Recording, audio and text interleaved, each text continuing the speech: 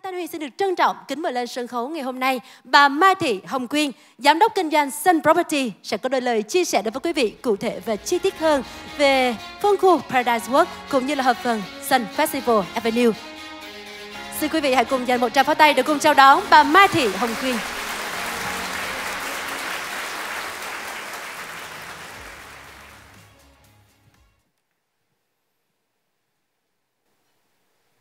Xin cho tôi à, màn hình nhắc. Xin được gửi lời chào nồng nhiệt đến toàn thể quý vị khách hàng đã dành thời gian quý báu trong buổi sáng Chủ nhật để đến với một cái cánh cửa mở ra những cái cơ hội sở hữu và trở thành cư dân của đảo Thiên Đường. Xin được nồng nhiệt chào đón quý vị.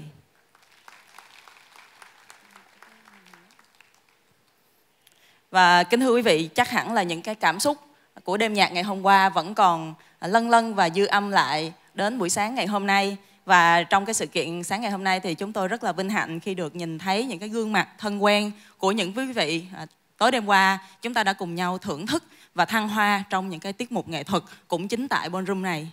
Và thưa quý vị à, có thể nói là những cái hình ảnh mà quý vị đang nhìn thấy và cái công trình nơi mà chúng ta đang có mặt ở đây cũng là một cái minh chứng sống động cho câu nói đó là những gì không thể đánh gục được chúng ta thì sẽ càng khiến cho chúng ta mạnh mẽ hơn. Bởi vì như ngày hôm qua thì tất cả những cái giọng hát những cái ca từ những cái sự thăng hoa trong cảm xúc và được nâng tầm thêm nhờ cái không gian nghệ thuật này. Và tất cả những cái điều mà chúng tôi làm à, những cái chiếc đèn chùm à, gần nửa tấn hay là từng cái viên đá được đính trên cái bức tường của ballroom và những cái bức tranh tường ở trong cái Sun Signature Gallery này thì đều được thi công một cách rất là cấp tập ngay trong cái năm đỉnh cao nhất của dịch bệnh và đó chính là một cái sự miệt mài, cống hiến và có cái đồng hành, có sự ủng hộ của tất cả quý vị, những khách hàng, những nhà đầu tư đang cùng dõi theo chúng tôi và đang cùng tạo động lực để cho chúng tôi có thêm cái niềm tin trong cái hành trình sứ mệnh làm đẹp những vùng đất của mình.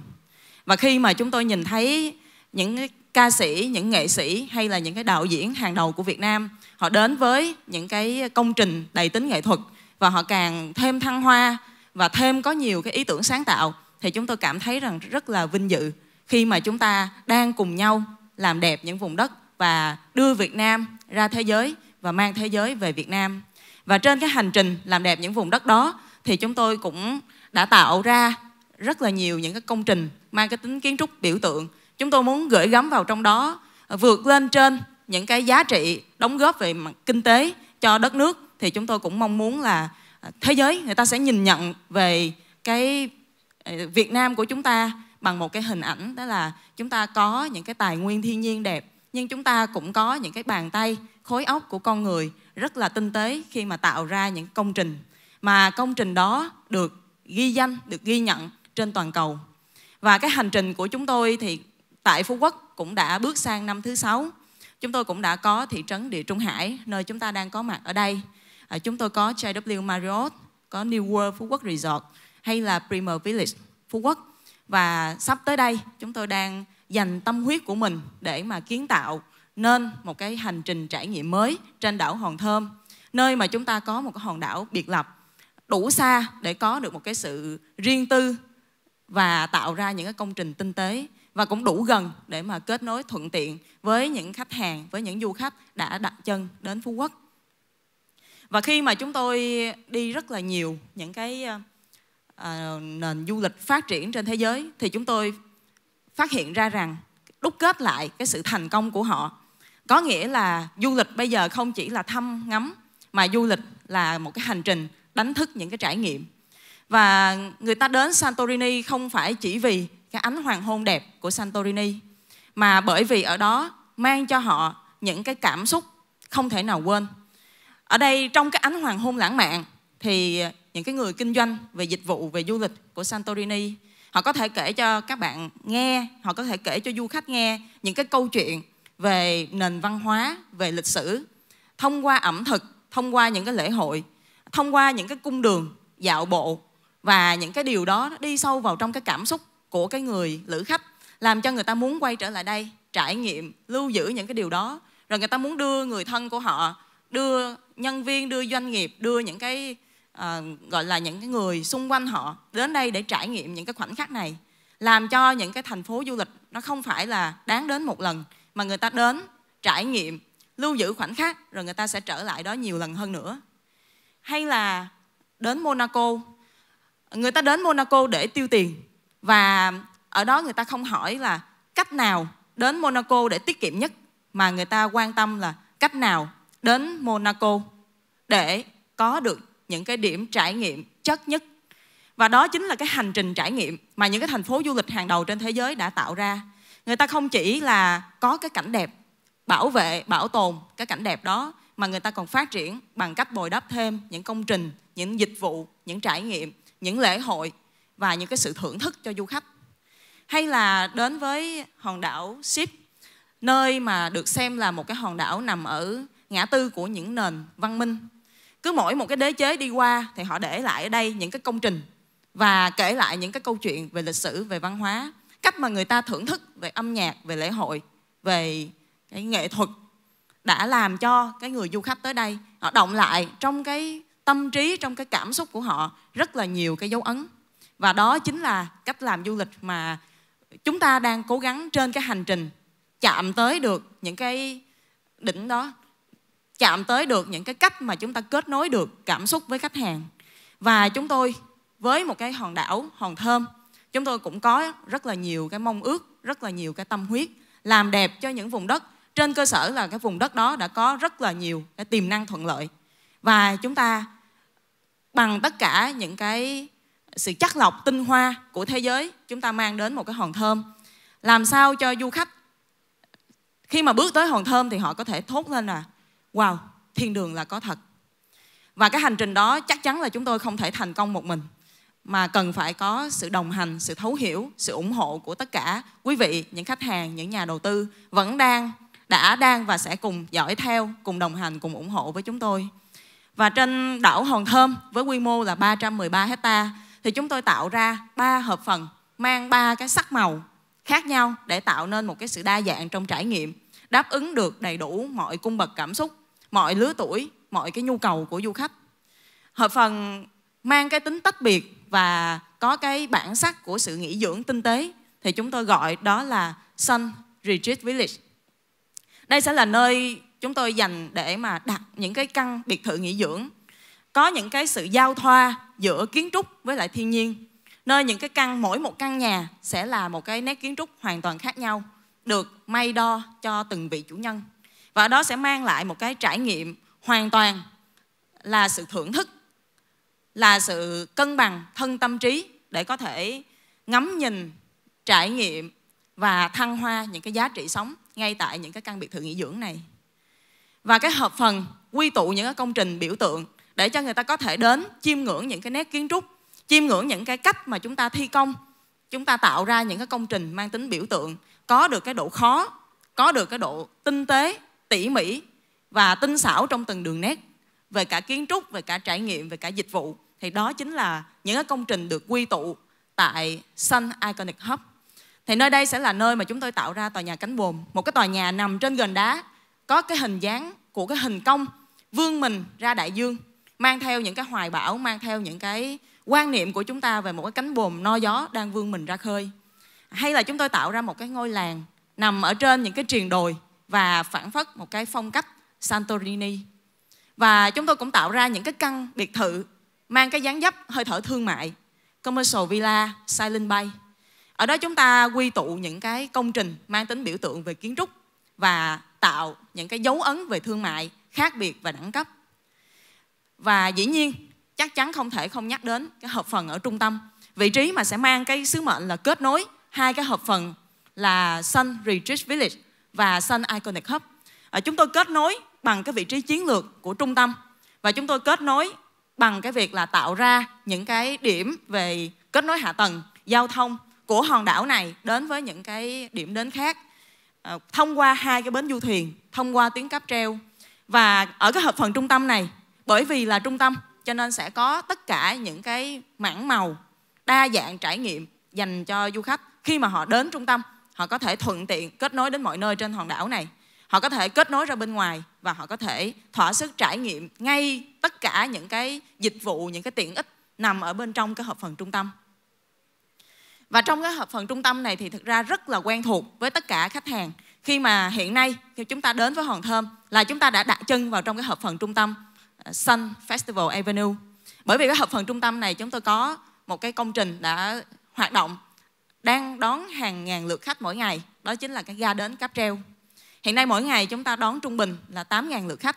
Và những ngày cuối tuần, ví dụ như ngày hôm qua là chúng ta đón 10.000 lượt khách. Thì 10.000 lượt khách này họ đang đặt chân đến Sun Festival Avenue ngay tại cái phần ga đi cáp treo, à xin lỗi ga đến cáp treo. Và từ đây họ sẽ kết nối ngay lập tức đến công viên nước Hòn Thơm,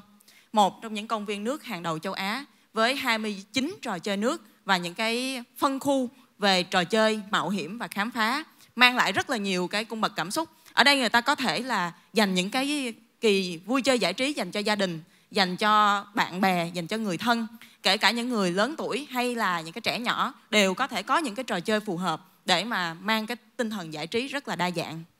và ở đây không thể không nhắc tới những cái mảnh ghép về hạ tầng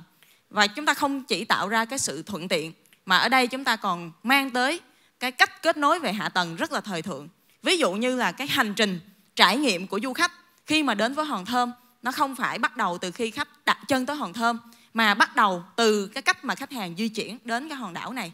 Tức là chúng ta sẽ đón khách bằng những cái bến du thuyền, bằng những cái sân bãi đổ trực thăng chuyên cơ có thể đáp xuống và chúng ta có một cái hành trình trải nghiệm trên cái cáp treo 3 giây đó là những cái cách kết nối không chỉ thuận tiện mà còn là một cái trải nghiệm thời thượng khi mà chào đón quý khách đến với hòn thơm Paradise Island. À, không chỉ có những cái công trình mà chúng tôi rất là chú trọng đến sắc màu lễ hội. Bởi vì chúng ta có cảm thấy nhớ cái vùng đất đó hay không, đó là nhờ những cái cảm xúc mà chúng ta có được khi chúng ta đến với vùng đất đó. Và cái hành trình trải nghiệm âm nhạc đêm hôm qua cũng là một trong những điều mà chúng tôi muốn tái hiện để quý vị có thể hiểu được rằng những cái điều mà chúng tôi ấp ủ cho Sun Festival Avenue chúng tôi sẽ tạo ra những cái không gian lễ hội. Mà tại những cái không gian lễ hội đó thì khách hàng có thể là đến đó có rất nhiều cái sự lựa chọn những cái tuyến phố để mà người ta có thể là thưởng thức âm nhạc đường phố. Và chúng tôi cũng có những cái sân khấu biểu diễn nghệ thuật giống như là của cái Sun Signature Gallery tại thị trấn Địa Trung Hải. Thì à, ở phân khu Sun Festival Avenue chúng tôi sẽ có những cái thánh đường nghệ thuật và chúng tôi đang phối hợp với lại ờ, kiến trúc sư hàng đầu của nước Ý, người đã ờ, tạo nên cái ờ, cầu hôn ở thị trấn Địa Trung Hải, kiến trúc sư Casamanti ông đang thiết kế một cái nhà hát, một cái gọi là một cái thánh đường nghệ thuật dành cho hòn thơm Paradise Island, nằm ngay tại biển bờ Tây và ngay tại cái đầu trục đường kết nối vào Paradise Walk. Và ở đây chúng ta mang cái sắc màu lễ hội đến cho du khách. Có đa dạng các hoạt động, đa dạng những cái trải nghiệm và chắc chắn là không thể thiếu những cái cung đường, những cái tuyến phố lễ hội trung tâm. À, khi mà chúng ta đi đến một cái vùng đất nào, chúng ta đều luôn luôn mong muốn trải nghiệm ở cái tuyến phố trung tâm ví dụ như là chúng ta đến với thành phố Hồ Chí Minh để mà trải nghiệm cái ờ, nhịp sống của Sài Gòn thì chúng ta không thể bỏ qua phố đi bộ Nguyễn Huệ hay là để mà thưởng thức những cái à, bữa tiệc, gọi là, từ đêm cho đến bình minh hôm sau, thì chúng ta không thể thiếu à, cái trải nghiệm ở cung đường Bùi Viện. Hoặc là chúng ta đến Hà Nội thì chúng ta không thể thiếu cái cảm giác là dạo bước bên những cái con phố ở Hồ Gươm hay là trải nghiệm ẩm thực ở Tạ Hiện. Và khi mà bất kỳ cái thành phố du lịch nào, họ cũng đều quy hoạch một cái tuyến phố trung tâm dành cho những cái hoạt động về đêm như vậy. Và chính tại Paradise Island. Chúng tôi tạo ra cái hợp phần trung tâm. Và tại trung tâm đó, chúng tôi lại tạo ra một cái tuyến phố trung tâm, nơi mà quy tụ mọi trải nghiệm về lễ hội, về ẩm thực, về cái nhịp sống về đêm, để mà tạo ra những cái trải nghiệm ghi dấu ấn bằng những cái cảm xúc cho du khách. Và chính ngày hôm nay, chúng tôi xin được phép ra mắt cái trục đường trung tâm, kết nối của những cái, tất cả những cái hợp phần, tất cả những cái dịch vụ tại Paradise Island ở đây thì quý vị sẽ thấy là địa hình của Hòn Thơm đã cho chúng ta những cái triền đồi rất là đẹp. Và chúng ta, đa số là chúng ta tựa vào thiên nhiên để chúng ta tạo ra những cái công trình, có cái tầm view và có cái độ, cao độ khác nhau. Và duy nhất một cái cung đường có một cái địa hình bằng phẳng để mà kết nối hai bãi biển, đó chính là Paradise Walk. Và ở đây chúng tôi chính thức ra mắt cái cung đường này cũng là chính thức gửi gắm đến quý vị một cái thông điệp để chúng ta cùng nhau kiến tạo nên những cái hành trình trải nghiệm cho du khách. Và trên cái trục đường này thì chúng tôi tin chắc rằng nơi đây sẽ là nơi mà đáng đến nhất của tất cả lứa tuổi, của tất cả những cái nền văn hóa, của tất cả du khách đến từ tất cả những nơi trên toàn thế giới họ muốn trải nghiệm tại đây. Bởi vì nơi đây là nơi quy tụ hết mọi thứ trong tầm tay. Ở đây với cái trung đường, cục ờ, trục đường trung tâm của chúng ta, kết nối hai bờ biển sunset và sunrise tức là một cái hành trình trải nghiệm từ bình minh cho đến hoàng hôn và khi mà hoàng hôn buông xuống rồi, vào buổi tối thì người ta muốn thưởng thức cái nhịp sống phố phường tấp nập và người ta sẽ quy tụ hết về cái trục đường lễ hội ngay tại trung tâm này và chúng ta kết nối rất là thuận tiện đến tất cả những cái hợp phần ở trên hòn đảo Hòn Thơm, như là Sun Iconic Hub hay là Sun Retreat Village.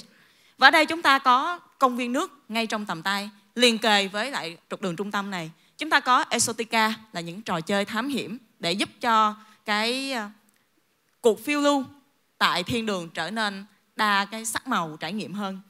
Và chúng ta cũng có những cái bến du thuyền ở hai bên, cả bờ đông và bờ tây đều có cái hình thức kết nối giao thông rất là thuận tiện. Và tất cả những cái đó nằm trong cái bán kính kết nối trực tiếp đến cái trục đường trung tâm của chúng ta. Và có thể nói nơi đây quy tụ 6 điểm mà quý vị không thể bỏ qua trên cái trục đường trung tâm này. Thứ nhất, đó là một cái quảng trường lễ hội đa trải nghiệm. Bởi vì ở cái bắt đầu của tuyến phố thì chúng tôi tạo ra một cái nhà hát nghệ thuật và kết thúc một cái tuyến phố đó lại là một cái bờ biển, nơi có những cái công trình tôn vinh cái sự sáng tạo trong nghệ thuật thì hai cái nơi này nó đã tạo thành một cái sức hút và bản thân ở trên cái trục đại lộ nó đã là một cái quảng trường lớn để diễn ra các cái hoạt động lễ hội. Và đây cũng sẽ là nơi đại lộ trung tâm của trung tâm. Bởi vì duy nhất cái tuyến đại lộ này kết nối từ đông sang tây và kết nối tất cả những cái hợp phần của cái hợp phần trung tâm. Và đây cũng sẽ là nơi kết nối hai cái bờ biển sôi động nhất.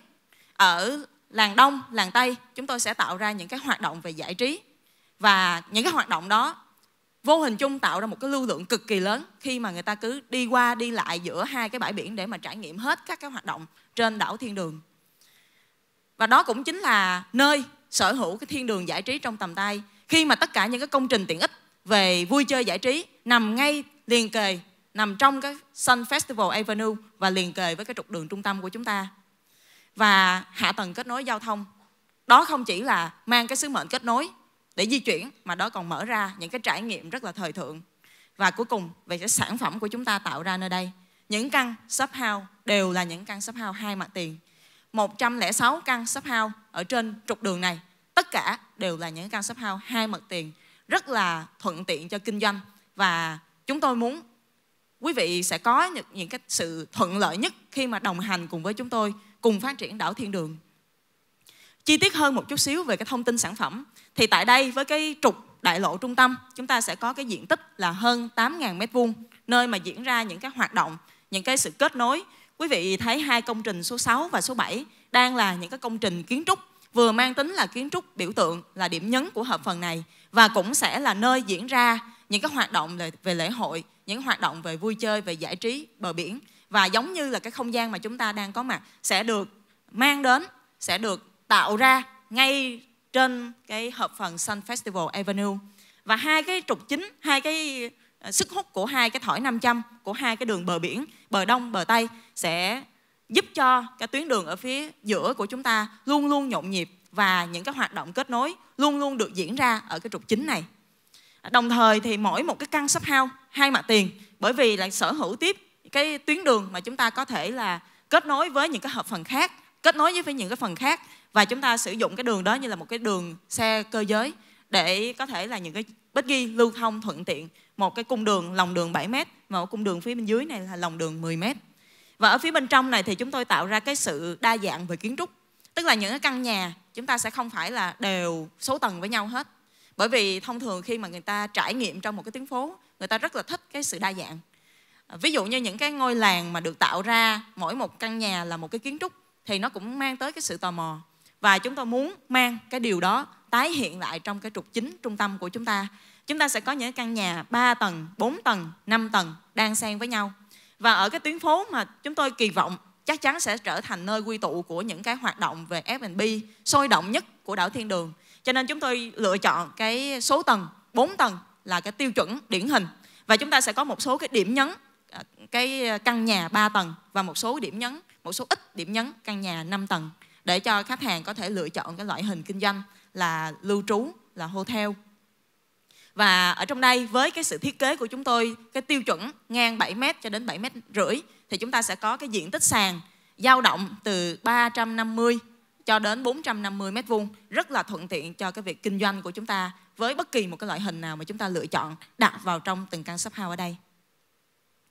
À, không chỉ là trong cái quy hoạch mà chúng tôi cũng cố tình mang đến một cái nét kiến trúc để trải nghiệm kiến trúc cũng là một hành trình trải nghiệm. Và cái trục đường của chúng ta kết nối từ đông sang tây thì sẽ có một cái sự chuyển hóa về cái nét kiến trúc. Ở trong đây thì quý vị sẽ thấy là không có một cái căn nhà nào giống hệt cái căn nhà nào. Mỗi một căn sẽ là một cái kiến trúc. Chúng ta đồng điệu với nhau về ngôn ngữ kiến trúc, nhưng mà mỗi căn sẽ có một chút mái vòm khác nhau, một chút cái đường lam che khác nhau, một chút mái đua khác nhau, một chút cái mái vòm à, một tí cái ban công rồi cái phần mái dốc ở trên. Tất cả những cái đó tạo ra cái sự đa dạng và cái sự chuyển tiếp. Từ tây sang đông sẽ là từ cổ kính đến hiện đại. Và khách hàng sẽ cảm thấy như là lạc bước vào một cuộc dạo chơi trên thiên đường. Và những cái hình ảnh này thì chúng tôi đang bắt cận vào trong cái kiến trúc. À, sắp tới đây thì chúng tôi sẽ gửi đến quý vị những cái hình ảnh rõ nét hơn về cái không khí lễ hội của một cái trục quảng trường đại lộ trung tâm và không chỉ tạo ra một cái sản phẩm mà tôi tôi nghĩ rằng cái sản phẩm này cực kỳ là ưu việt về mặt vị trí.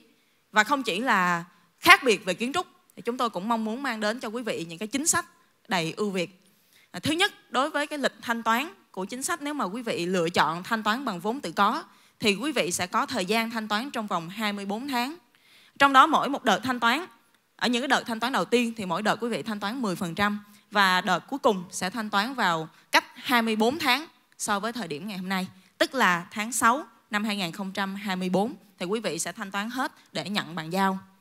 Và nếu như mà quý vị thanh toán bằng vốn tự có thì quý vị sẽ nhận được mức ưu đãi trực tiếp vào trong giá bán là 11%. Tiếp theo, đối với tiến độ thanh toán nếu quý vị sử dụng đòn bẩy tài chính trong giai đoạn hiện nay thì có lẽ chúng ta sẽ uh, gọi là kỳ công hơn một chút trong cái việc là cung cấp về thông tin để mà chúng ta sử dụng cái đòn bẩy tài chính và chúng tôi cũng đưa ra một cái chính sách rất là thuận tiện để cho quý vị có thể tiếp cận được với cái hình thức sử dụng đòn bẩy tài chính lãi suất 0%, ân hạn nợ gốc, miễn phí trả nợ trước hạn trong vòng 24 tháng. Và ở đây thì quý vị sẽ chuẩn bị 10% trong vòng 15 ngày đầu tiên. Ngân hàng sẽ giải ngân lần 1 35%. Và tiếp theo 75 ngày sau ngày quý vị ký văn bản thỏa thuận thì à, quý vị sẽ thanh toán tiếp 20% vốn tự có và phần còn lại ngân hàng sẽ giải ngân tiếp 35% còn lại. Và à, ngoài những cái ưu đãi vừa kể trên thì quý vị sẽ nhận thêm những cái ưu đãi hấp dẫn như sau.